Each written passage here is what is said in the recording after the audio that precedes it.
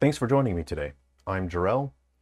My work includes technology consultancy, public speaking, and game development. So as a solo developer, I have shipped five titles on the Nintendo 3DS, two on the Wii U, four on the Switch, and I have a number of titles in development at the moment.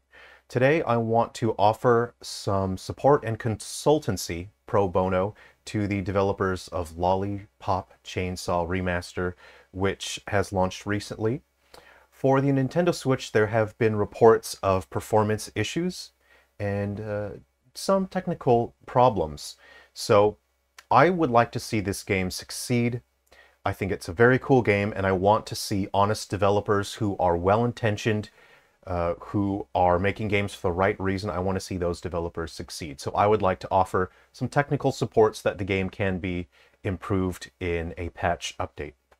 So uh, part of my work in the past has been highly specialized in optimizing, uh, and much of that applies to the Switch. So this game was originally made in Unreal 3. Remaster was made in Unreal 5. Now, unfortunately, Unreal Engine 5 is very heavy on the Switch. Well, it's very heavy in general, but it's just a bit heavy for the Switch. Uh, however, the information that I will be providing is not dependent on Unreal 5. So what we've heard is that this game works slightly better in handheld mode, and that means that the internal rendering resolution of the game should be lowered as much as possible and still good, and just use anti-aliasing or anti-aliasing to uh, help smoothen out those uh, pixels. So if possible, if you can reduce the lower, uh, if you can reduce the internal rendering resolution, that would make a huge difference. Um, despite the fact that the console has uh, a bit more power when it's plugged into the dock, if you are getting worse performance, that is because the resolution is just a little too high for what the game is trying to do.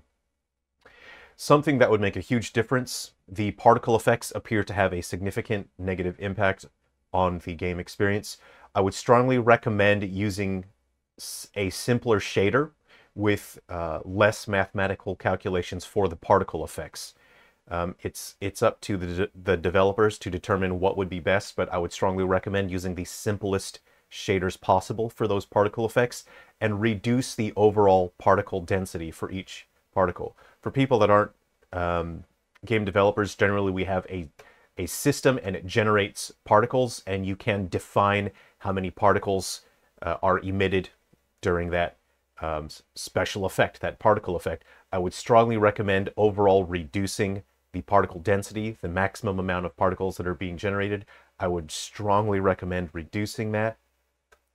There have been reports of crashing or soft locking. I have not played this game uh, myself, but I have been uh, reading reports from people and watching videos. I most likely this is caused from memory fragmentation, resulting from high resolution textures or assets that are not loading into memory, uh, which is resulting in null references. This causes the game to hang when it cannot find an object that it needs to reference to.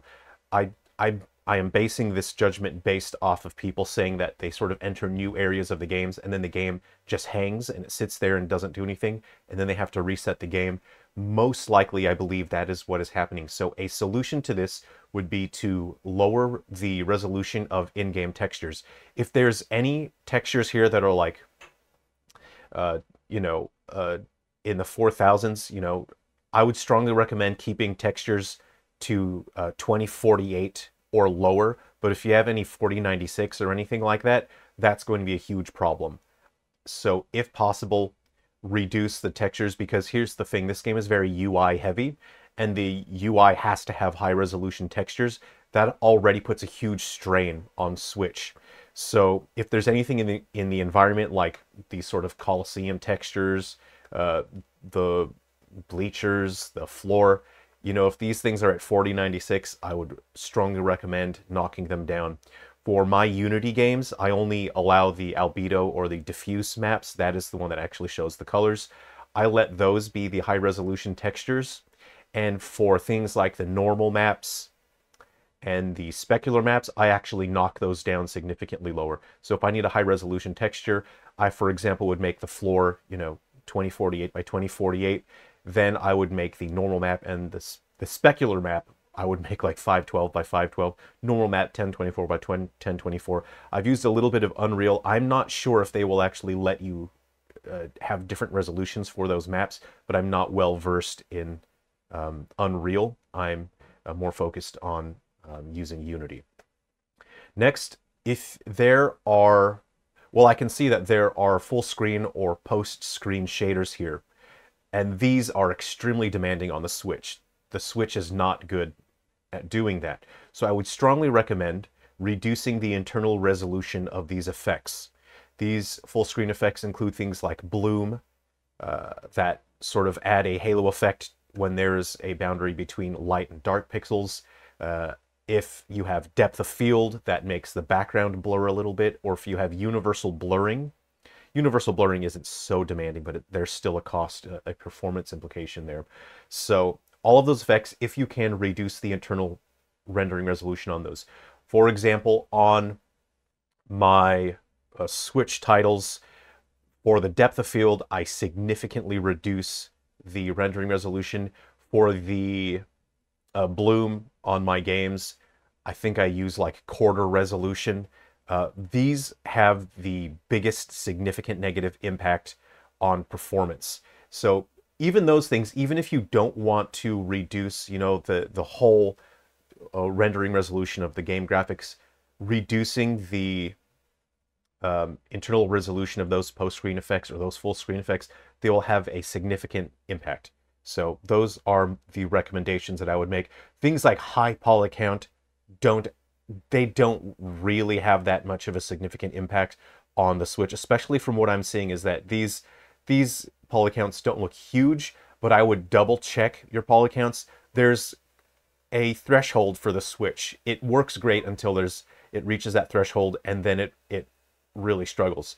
So I would double check that because I'm not entirely sure. I haven't seen a lot of the enemies here, but I do see that the game tends to struggle when there are many enemies on screen as well. So I would double check that, and if possible, if your enemies are quite high poly count, I would just strongly recommend reducing the poly count on your enemies since it's the these rando enemies that tend to fill up the screen a bunch. And there are, are different techniques you can use uh, to optimize that if you have much of the same geometry. So those are the uh, recommendations I would make, and that is how I would consult on this title in order to improve it. So I uh, hope that this video has been helpful. I generally don't ask for engagement or for likes, but I don't know any of the development team. I don't know how to contact them. And I believe, I'm, I'm not a YouTuber, so I don't really understand how this works, but I believe if people comment and like this video, it, it gets more exposure. And I think hopefully that will help reach the developers of this remaster. So I really hope this video reaches these developers uh, and they can uh, hear some of my recommendations and they can see if it applies to their situation. Hopefully, um, the consultancy that I'm sharing here can be applied, it can be useful, and the game can be improved so that Nintendo Switch owners can have a version of the game that runs much smoother. Thanks very much for watching. Uh, be well, take care of yourselves. If you're interested in my work, I don't really think this is the right place to talk about it here, but I'll put links in the description just if you're interested, and I'll share some of my other videos. Be well, take care of yourselves. Thank you for listening.